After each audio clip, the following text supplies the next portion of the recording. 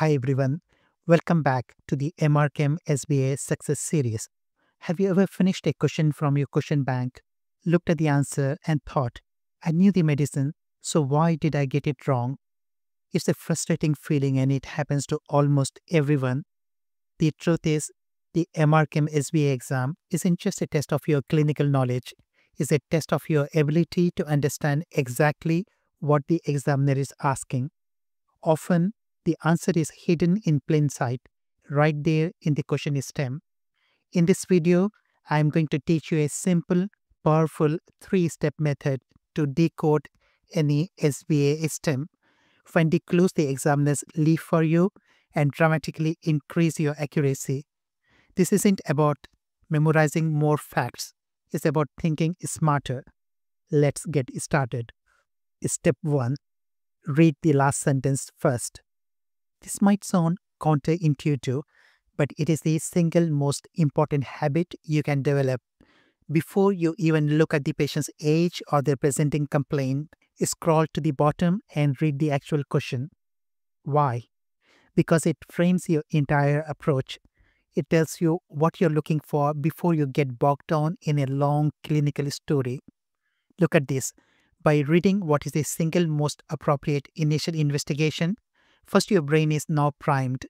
As you read the vignette from the top, you're not just passively absorbing information, you are actually hunting for the clues that point you towards an initial investigation, not a definitive diagnosis or a final treatment plan. It's like having the key to the puzzle before you start. Step 2 The Keyword Hunt.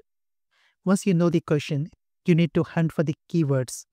Examiners use these precise words to guide you to the correct answer. Let's break down the most common ones. First, time-based keywords. These are crucial. Initial or immediate. This means what is the very first thing you must do right now.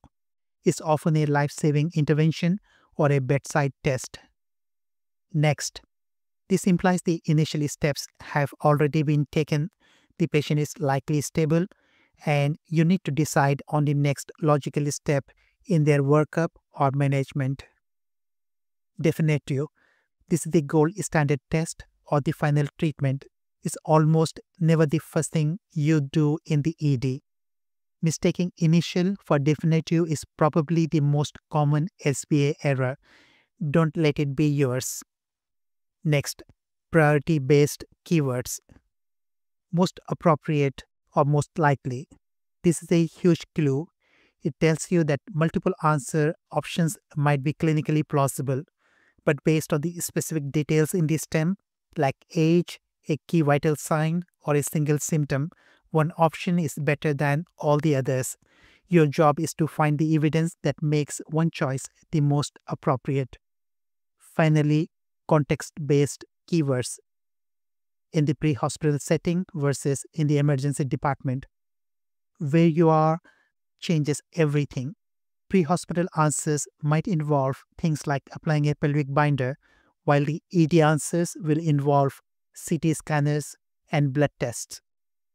Step 3. Sift for gold and ignore the noise. Now you're ready to read the full clinical vignette.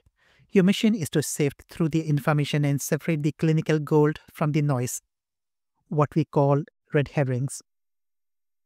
Here, what to look for. The vitals, heart rate, blood pressure, respiratory rate, SATs, and temperature. An abnormal set of vitals often tells you the patient is sick and points you directly to the answer. Never ignore the vitals. Positive findings. The one-line descriptions that clinch a diagnosis. Things like a tender pulsatile mass or a pinpoint pupils this is clinical gold. Red herrings. This is the noise. Examiners will often include details designed to distract you, like a minor irrelevant past medical history or a list of normal lab results. If a 55 year old man comes in after a major car crash, the fact he had had a vasectomy 10 years ago is probably noise. Learn to identify it and move on. Alright, Theory is great, but let's see this method in action. Example 1. A 24 year old man is brought to the emergency department after being stabbed in the left side of the chest. He is agitated and in respiratory distress. His blood pressure is 88 over 60 millimeter of mercury. Heart rate is 130 beats per minute and respiratory rate is 35 breaths per minute. On examination, there is decreased air entry on the left side and the trachea is deviated to the right. The question is, what is the single most appropriate immediate step in management? Option A, obtain a chest x-ray. Option B, perform needle decompression. Option C, insert a definitive chest drain. Option D, give a fluid bolus. And option E, intubate and ventilate. Okay, let's decode this. Step 1. Read the question first. What is the single most appropriate immediate step? The keyword is immediate. This means we need to do something right now to save this patient's life. Step 2. Keyword hunt. Immediate is our main keyword. Step 3. Sift for gold. What's the clinical goal here? Hypotensive, tachycardic, tachypneic, decreased air entry, and crucially, tracheal deviation. This is a textbook tension pneumothorax. Now let's look at the options. Option A, chest x-ray is a great diagnostic tool, but it's not immediate. It wastes time. Option C, a chest drain is the definitive treatment, but the keyword is immediate. Option D, a fluid bolus is good, but won't fix the underlying mechanical problem. And option E, intubation, might make the tension pneumothorax worse.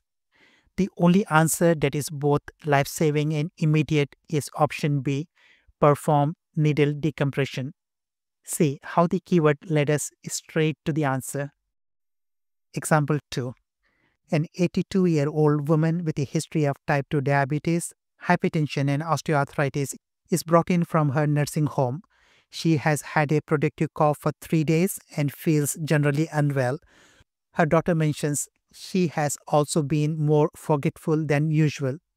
Her temperature is 38.5 degrees Celsius, heart rate is 115 beats per minute, blood pressure is 95 over 55 millimeter of mercury, and her respiratory rate is 24 breaths per minute.